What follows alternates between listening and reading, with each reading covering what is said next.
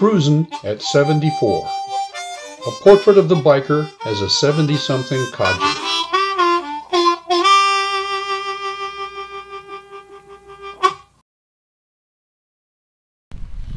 Hi, I'm Steve Koski, host of Cruisin' with Papa Steve, where we explore California's East Bay on my Honda Rebel 1100. Let's go cruising.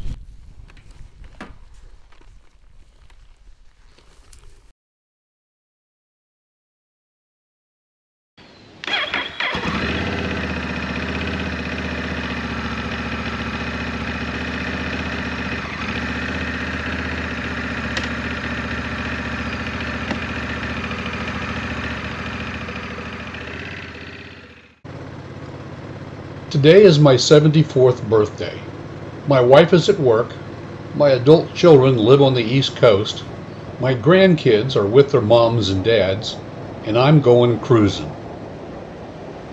Let me start by apologizing to James Joyce for riffing on a portrait of the artist as a young man. Joyce certainly writes much better than Papa Steve. I don't write stream of consciousness, but Papa Steve can ride a motorcycle better. Joyce was nearly blind by the time he was 48. Papa Steve has 20/20 eyesight since his cataract surgery. Why Papa Steve?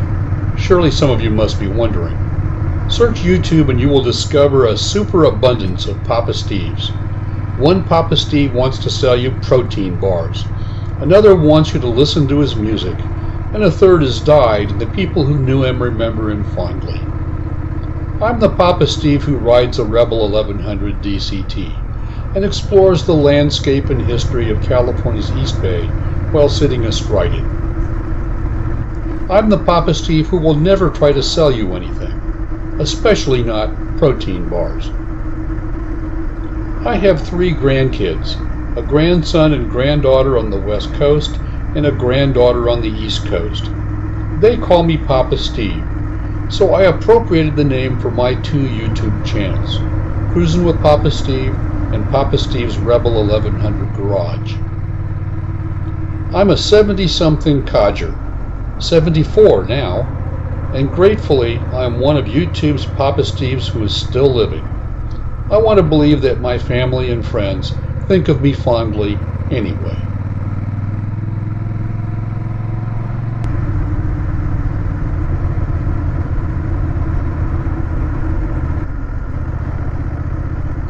I bought my first motorcycle after I turned 71.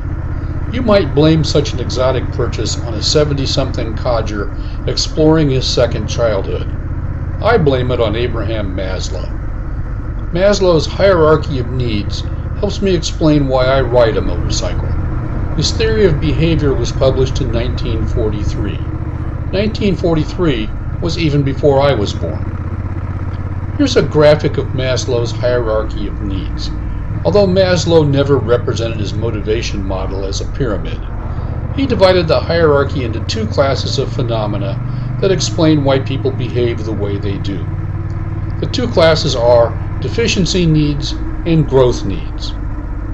Deficiency needs include the categories physiological needs, safety needs, belonging needs, and esteem needs. Physiological needs must be satisfied first, before any of us moves up in the pyramid. They are the basic requirements people must fulfill to stay alive air, water, food, sex, sleep, clothes, and shelter. Not necessarily in that order. For example, many of us have experienced the compulsion to sleep, overpowering the desire for sex. Safety needs include health as well as personal, emotional, and financial security.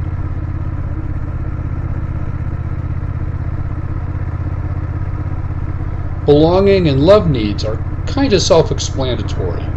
They include family, friendship, intimacy, trust, acceptance, as well as giving and receiving love and affection.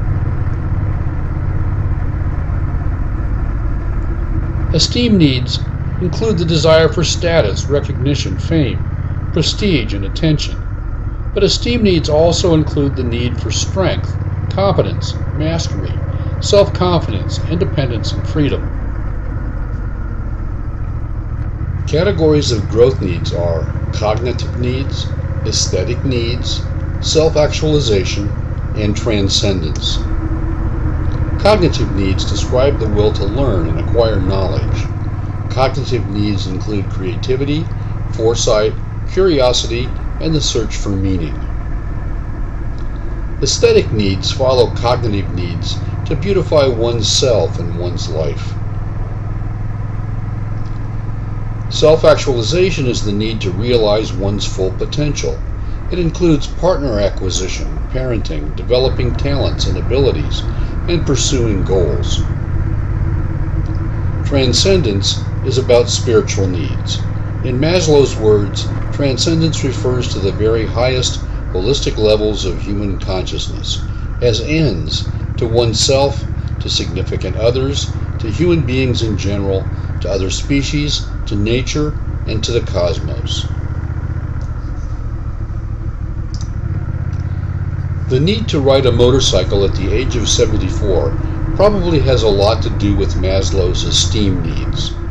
I have had seven decades to nurture my eccentricities. I sense among my many eccentricities the human compulsion for competence, independence, and freedom, wrapped around the thrill of throttling an 84 horsepower two wheeler along the tarmac. But as riding motorcycles, at an age where so many of us already find it difficult to push ourselves out of our favorite recliner, best described as a deficiency need? If it were, more of us codgers would be cruising around on motorcycles wearing armored jackets and helmets. Riding a motorcycle at 74 is probably better classified as one of Maslow's growth needs. I think self actualization. Maslow explained self actualization in his 1954 book, Motivation and Personality. What a man can be, he must be, he wrote. By that he meant realizing one's full potential. Maslow describes this as the need to become the most that one can be. People may have a strong desire to become an ideal parent, or to succeed athletically, or to create art, or to ride motorcycles. Maslow didn't write about riding motorcycles, but I think it should be included. So should producing YouTube videos about riding motorcycles. Self actualization needs include pursuing goals and utilizing and developing talents and abilities. Here's the story of how I became the producer of my own YouTube channel about riding motorcycles. Being the creator of a YouTube channel is not the pinnacle of a creative life that you might assume. Creating a YouTube channel is so cheap, anybody with a smartphone and an internet connection can do it. I stepped up to the next level and bought a GoPro, then upgraded my computer to run the free, resource hungry video editing software I use, VSCD for now. I'm guessing I have invested about $4,000 in video equipment, microphones, cables, GoPro mounting systems, and so on. Having an attractive marketing idea is important. It's too bad I don't have one. My channel is about the three intersecting circles of a Venn diagram, where one circle is writing my Rebel 1100, another circle is exploring the part of California where I live, and the final circle is humanizing what the camera captures over the handlebars of my motorcycle. Perhaps 10,000 viewers throughout the entire cosmos of the internet are interested in where those three circles overlap. And I suspect many of those viewers are my three year old grandson, who watches my videos over and over because he wants to see Papa Steve. As of my birthday, scattered among those 10,000 viewers are 113 subscribers. I wasn't born in a half shell as a 70 something codger, so here is my backstory. I was born on Albert Einstein's birth date in 1948 in Des Moines, Iowa. I was six and the oldest of three children when my mother died in a car accident while our family of five was living in Chicago. I have two younger sisters. After the accident, my father moved with my sisters and me back to Des Moines, where after several months he met and married my stepmother. She brought her own child into the marriage, a boy who was three weeks younger than me. Within a year, my father and new mom had another child, so I became the eldest brother, just barely, of two sisters and two brothers. We moved around the Midwest after that. My father was an itinerant retailer. He worked for SS Kresge before it morphed into Kmart, then failed. Every two years he would get a promotion. The promotion always meant moving to a new city. In addition to growing up in Elgin and Chicago, Illinois, I lived in Iowa, Missouri, and Kansas before graduating from high school. As a 70 something codger looking back, I think of it as touring the Bible Belt. I was a lazy student in high school. I used to squander my chemistry and physics classroom hours drawing pictures of airplanes, jets mostly. Despite my mediocre grades, my father was optimistic about my future. He insisted that I go to college. My parents' gift to me when I graduated from high school was a suitcase. I enrolled at Wichita State University. In my naive 18 year old mind, because I drew a lot of pictures of airplanes, I thought my doodles could transform me into a professional aeronautical engineer. Wichita State had a crack aeronautical engineering program. Wichita was the air capital of the world. Cessna, Beech, Learjet, and Boeing all manufactured aircraft there. McConnell Air Force Base was located near the edge of the city.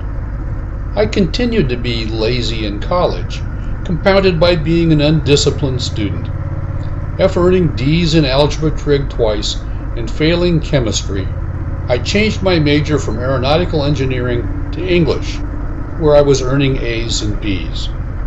I loved writing, apparently more than doodling airplanes. One of the problems with going to a fairly large university Wichita State had 12,500 students at the time, is that it's easy for a naive student to fall through the financial aid cracks. Nobody told me that you had to reapply for financial aid every year. I'd never been to college before. How was I supposed to know? I dropped out of college after my sophomore year because I couldn't pay tuition. So I went into manufacturing for a while. Coleman Company, you know, the people who make all that camping gear hired me as a punch press operator. The job lasted about six months before the tedium got to me. Then I got the break that set me on my career path. A small business weekly needed a business reporter. I got wind of the opening and applied. I'd never taken a journalism class, possessed no school newspaper experience, and knew only the slightest bit about business but I could write passably well. The publisher interviewed three applicants, then hired me. He told me that he picked me because I was the least qualified. He said he thought I would stay with the job longer. He paid me $75 a week for the first month of probation, less than minimum wage. After probation, my salary rose to $175 per week. I was excited about the opportunity to do work that was more meaningful than stamping out lantern bottoms, and I thought no more about my publisher's ego crushing, low expectations. I stayed with the newspaper for three and a half years.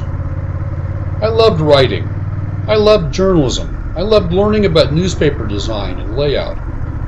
Eventually, the publisher sold the newspaper to a young journalist fresh out of University of Kansas William Allen White School of Journalism. The new publisher wanted to change the focus of the newspaper from business to politics. He hired a political reporter from Wichita's morning and evening dailies to run the paper. I went back to Wichita State resume working toward my undergraduate degree in English, adding a second major journalism. I had unintentionally become a non traditional student, but in so doing, I left behind the lazy and undisciplined undergraduate my grades improved to A's and B's. I graduated with a bachelor's degree, double majoring in English and journalism, then entered the creative writing master's program at Wichita State. Admission to the master's program came with a graduate teaching assistantship, teaching college writing to undergraduates. The assistantship launched me to a new career path college teaching.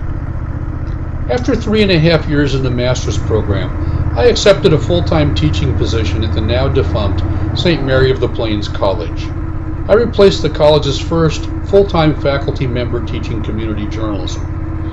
He had only held the position for one semester before a student hit him with a car while he was walking on campus one night. The college fired him while he was still in the hospital. Apparently, he hadn't taught anything for an entire semester. I could never make this stuff up. Four years later, I was admitted to the doctoral program in the highly regarded School of Journalism at University of Missouri. I earned a PhD with specializations in journalism history and social science research methodology. The Missouri doctorate opened doors for me at various times to faculty positions at St. Bonaventure University in New York, Point Park University in Pennsylvania, and St. Elizabeth University in New Jersey, from which I retired in 2016. I started my first YouTube channel, Cruisin' with Papa Steve, after a friend of mine from my college days at Wichita State University told me he wanted to see pictures of me on my Suzuki Boulevard S50, decked out in my writing gear. I thought, why settle for photos? So I made a video, cruising around Pleasant Hill. Used it to launch my YouTube channel last July, then invited my friend to watch and subscribe. I like to include music in my videos. Unfortunately, I'm not very musical. I can sort of play six blues tunes on the C harmonica, but I play them badly. So any music you hear in my videos is performed by people who are more musical than I am. The blues guitar and harmonica intros in my most recent videos are performed by my college friend who triggered it all, Too Slim Tom. The viewing audience for Cruisin' with Papa Steve is gratifying but small. I detected broader interest in motorcycle maintenance how-tos and related stuff. So in October last year I started a second YouTube channel, Papa Steve's Rebel 1100 Garage. So, that's my backstory, and I'm sticking to it. Thanks for cruising with me and Abraham Maslow on my birthday.